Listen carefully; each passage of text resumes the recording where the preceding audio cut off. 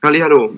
Mal angenommen, man ist in einer neuen Stadt umgezogen, aber man findet nicht so schnell den Anschluss. Vor allem in der Corona-Zeit ist es besonders schlimm, äh, weil man nichts mehr zusammen unternehmen kann. Äh, dann wäre es doch sicher gut, eine App zu haben, bei der man neue Freunde mit gleichen Hobbys finden kann.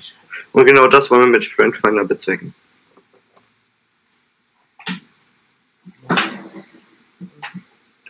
Was ist Friendfinder? Friendfinder ist eine Web-App, in der man sich neue Freunde finden kann, wie zum Beispiel gerade genannt, wenn man in eine neue Stadt zieht.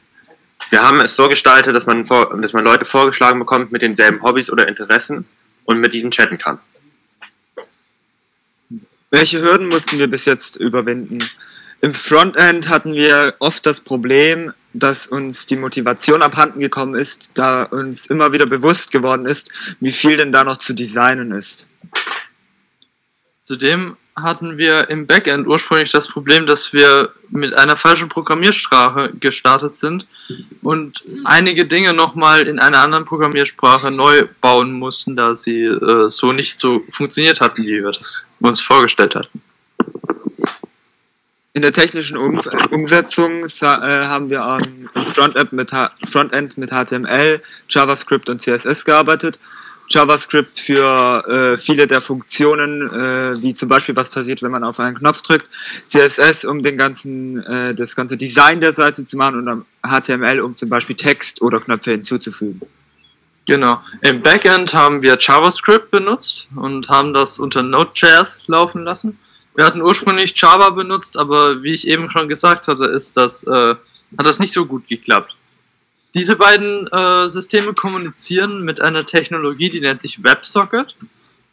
Ähm, bei WebSockets wird ein Kanal geöffnet, der permanent offen bleibt, sodass der Frontend und das Backend sich permanent unabhängig voneinander austauschen können. Da sieht man noch einmal äh, Teile vom Code des Frontends. Links sieht man ähm, mal ein kleines äh, bisschen, das ist der ganze Code vom Login-Fenster.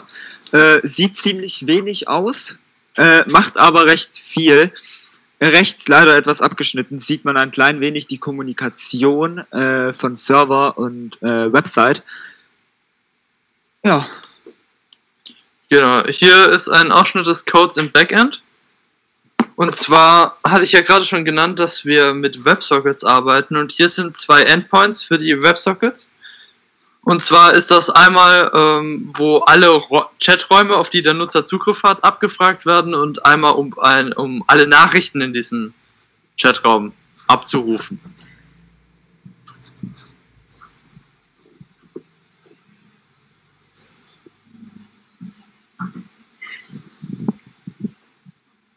So, wir haben jetzt noch eine Demo vorbereitet.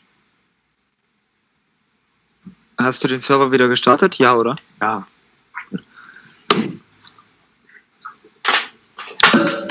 Also wir zeigen, wir haben hier, wie ihr bei äh, in der Präsentation schon sehen könnt, haben wir ähm, mal zwei Channel angelegt.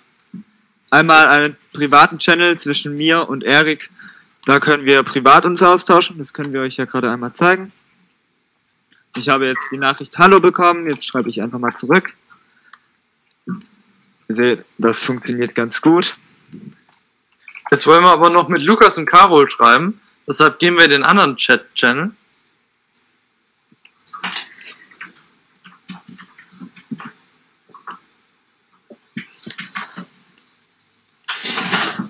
Ja, komm. Lukas, Carol? Ähm, gibt bei mir gerade ein paar kleine technische Probleme. Ich komme nicht rein. Hast du dein Passwort falsch geschrieben? Nein, mein Passwort ist diesmal nicht falsch geschrieben. Äh, Seite neu laden. Lad die Seite, Seite, neu. Seite ist neu geladen. Und Benutzername auch richtig geschrieben? Ja, eigentlich schon. Mit großem L. Mit großem L, ja. Carol, kommst du rein? Die Seite lädt ja. einfach nur wieder nicht.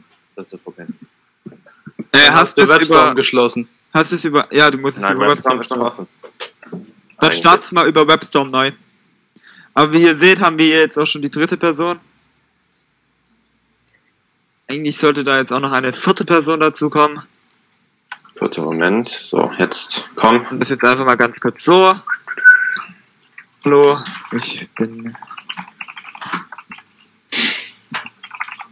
Okay, ich hab's auch geschafft. Ich habe dich mal ganz kurz vertreten. Okay. Ich logge mich hier direkt wieder aus und bedanke mich für euer, äh, eure Aufmerksamkeit. Und ich denke mal, ich kann jetzt wieder an die Moderation weitergeben.